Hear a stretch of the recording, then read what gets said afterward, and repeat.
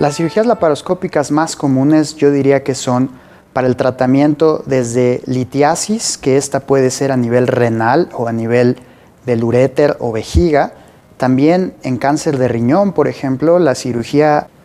que se considera actualmente el estándar de oro es la cirugía laparoscópica para resolver mayor parte de los tumores en etapas tempranas. Igualmente podemos mencionar la cirugía para el cáncer de próstata o la prostatectomía radical laparoscópica y